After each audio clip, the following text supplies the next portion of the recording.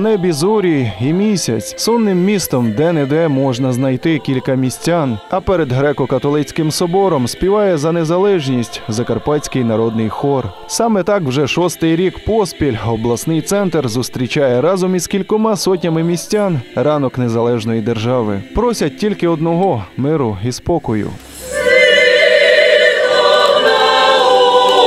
Священники різних конфесій помолилися за мир і спокій у нашій державі. Прочитали всім відому з дитинства молитву «Отче наш різними мовами. А кульмінаційним моментом стало виконання державного гімну України під церковні дзвони.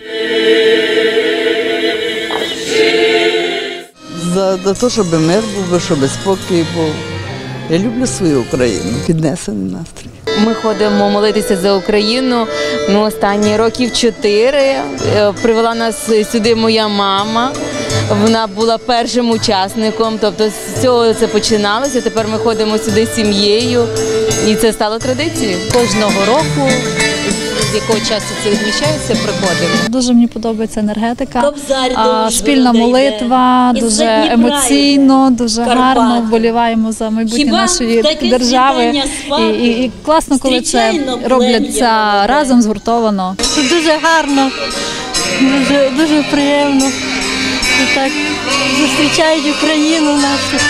найбільше державне свято нашої країни, е, в чий обов'язок входить її захищати. Безперечно, щоранку, коли прокидаєшся, ти думаєш про неї, думаєш про все те святе, яке є в тебе всередині, і в твоїй сім'ї, і в країні. І, звичайно, що це свято, прокинувшись, е, знаючи про таку чудову ініціативу, яка є в нашому місті.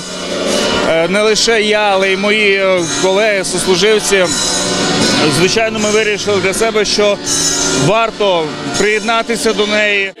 Молитва за Україну, приурочена до 28-ї річниці незалежності, стала для всіх учасників не тільки добрим початком свята, а й символом єдності громадян, віри у світле майбутнє та безмежної вдячності за незалежну державу.